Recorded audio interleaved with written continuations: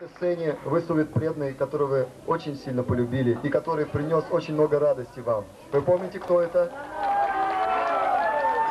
Девананда Прабу! Харибол! Встречайте!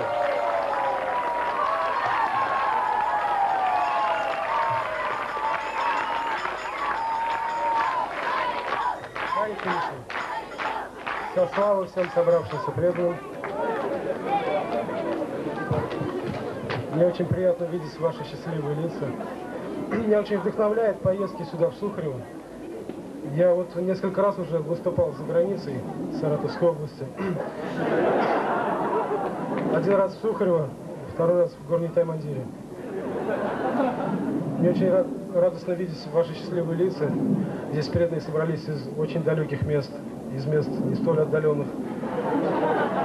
Сегодня рассказ я вам прочитаю о человеке, который как раз вот из этих мест не столь отдаленных. Он называется «В давно не крашенном кабинете».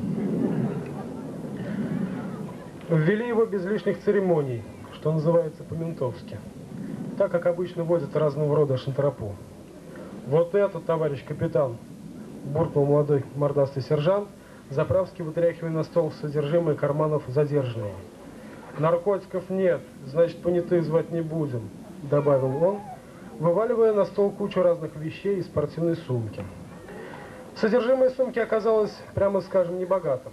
Какие-то тряпки, мыльница, грязная расческа и другая разного рода дребедень.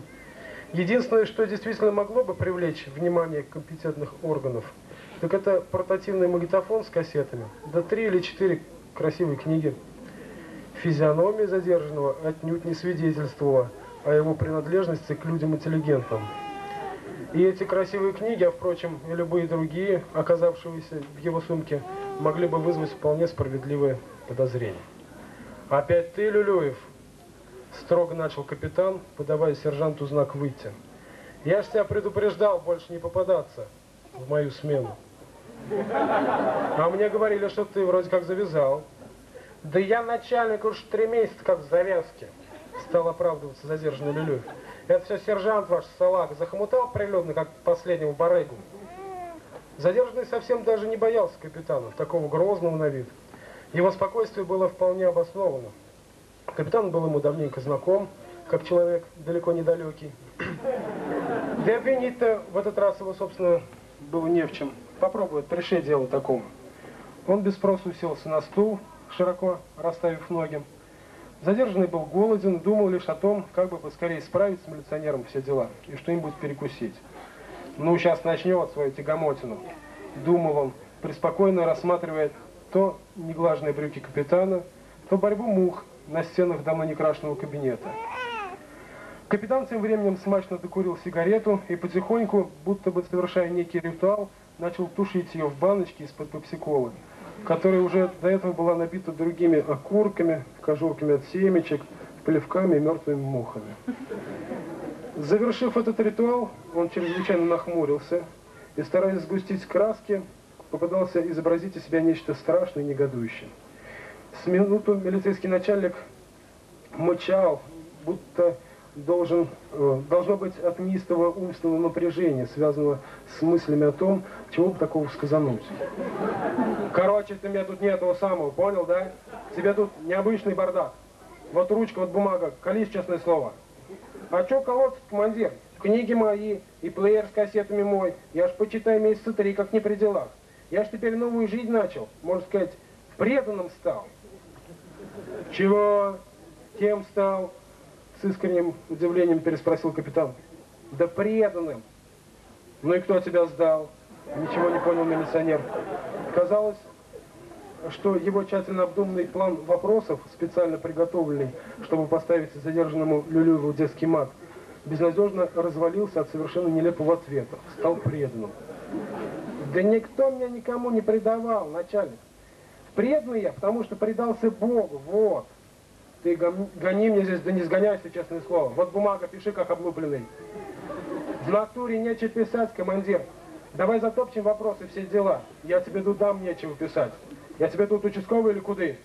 Негодовал милицейский начальник, нервно раскуривая очередную сигарету. Книжки ты, гляди, у тебя кришнаитские. Где добыл, а? А у них в прошлом году склад почистили. Влип? Василий Иванович, так я ж теперь сам Кришнаид. Сменил свой тон задержанный Люлюев, видимо, припоминая, кем он стал несколько недель тому назад.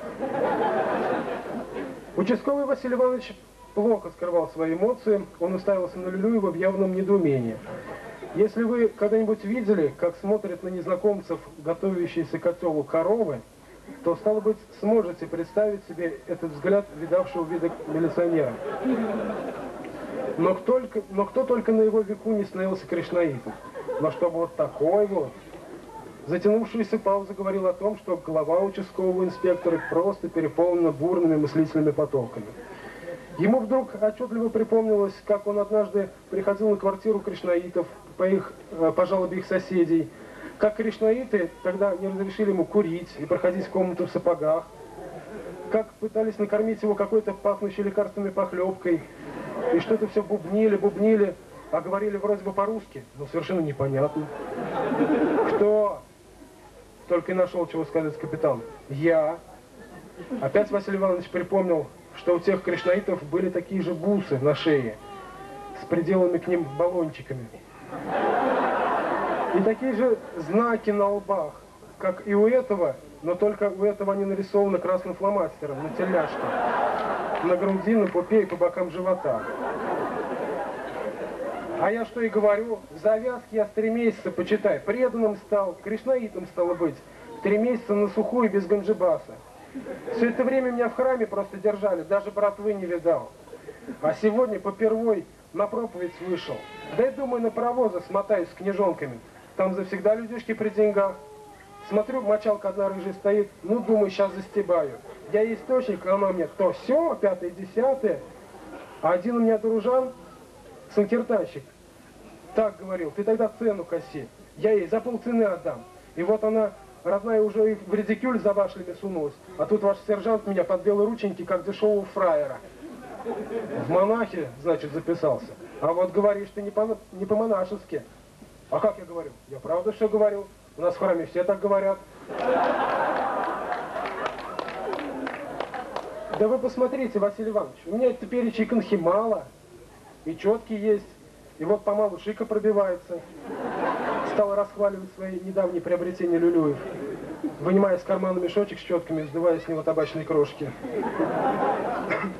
А помните, у меня на плече наколка льва была. А теперь это не просто лев, а получеловек полулев. Понятно? С особой гордостью заявил он, обнажая свое смуглое преступного прошлого плечо. Действительно, после их последней встречи в прошлом году, когда учетную карточку гражданина Люлюева в раздел «Особые приметы» Секретарша вписывала описание татуировки. Лев претерпел некоторые изменения. Львиная голова теперь была украшена то ли шапкой, то ли шлемом. А чуть ниже появилась вот такая надпись в стихах. «Не смотри, пробу, на голых дев, загрызет тебя на ресим ХД». Капитан вдруг опять припомнил, что кришнаиты действительно называют друг друга то ли прабу, то ли барабу и что молятся какому-то льву, и что самое интересное, даже кормят его фотографию. Нет, но в принципе, в принципе, кришнаиты не такие уж плохие ребята. Одно то, что они кормят бесплатно сирот и стариков, заставляло посмотреть на все их причуды и недостатки сквозь пальцы.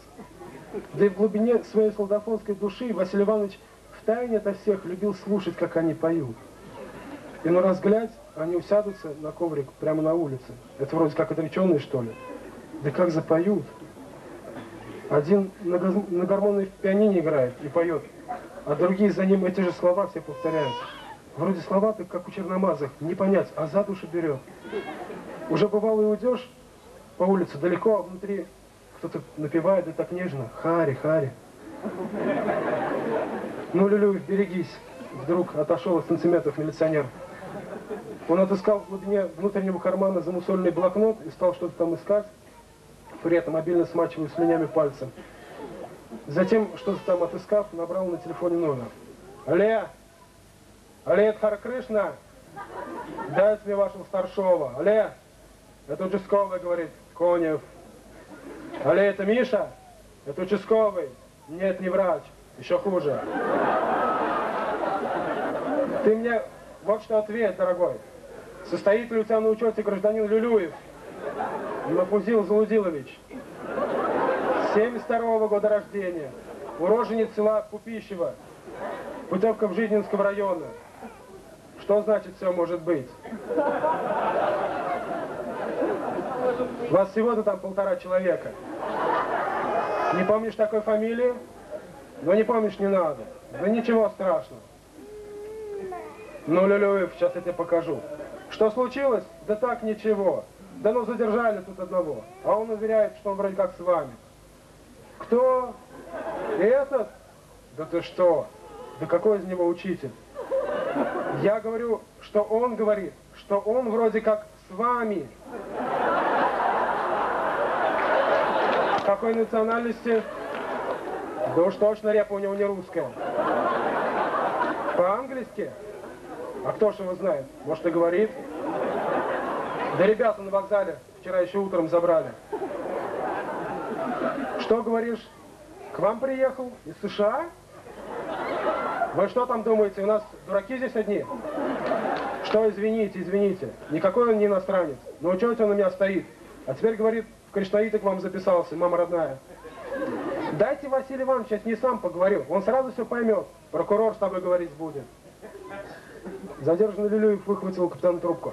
Олег, Рябов, вы что, совсем что ли? Ну вообще бол! По всей видимости, этих слов было вполне достаточно для того, чтобы на том конце провода разобрались с определением личности подозрительного смуглого в пиджаке и тельняшке, да еще и преданного индийскому богу Кришне молодого человека. Люлюев вернул трубку начальнику давно не крашенного кабинета. Алло, ну что, все, разобрался? Как звать? Шура Балаганов. Почему ты называешь его другим именем? Но ведь это не кришнаитское имя. Ну не кришнаитское ведь. Ты бы там узнавал у своих паспортные данные для порядку. А то ведь сам знаешь, время сейчас какое. То есть как? Не у всех паспорта есть. Ты, может быть, и не есть этот паспорт. А мне тут, чтобы было все, все было чекичок. Вот доберусь скоро я до вашей богадельни, честное слово. Зайду когда-нибудь. До свидания. Бакта Балаганов поспешно собирал свои вещи. Ну, начальник, я свободен.